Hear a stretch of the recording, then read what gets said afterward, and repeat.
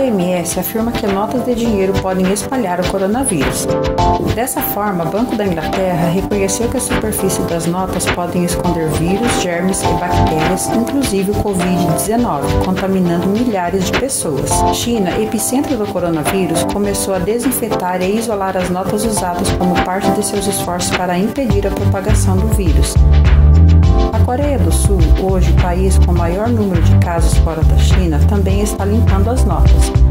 Vou ensinar uma técnica rápida e prática para matar vírus e bactérias desinfetando as notas para evitar a contaminação.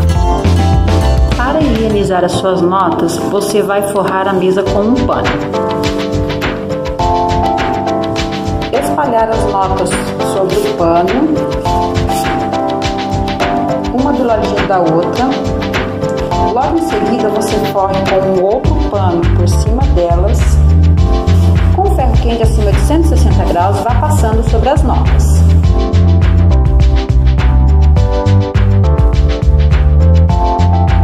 O ferro tem que estar bem quente, acima de 160 graus. Já que o vírus não resiste a altas temperaturas. Logo em seguida, vire suas notas.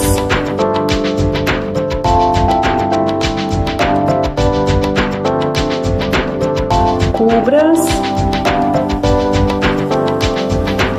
e volte a passar novamente com o ferro. Assim você terá certeza que a alta temperatura passou por todas elas, matando o vírus. Assim vai matar o vírus que transmite o coronavírus e suas células estarão higienizadas livres da contaminação.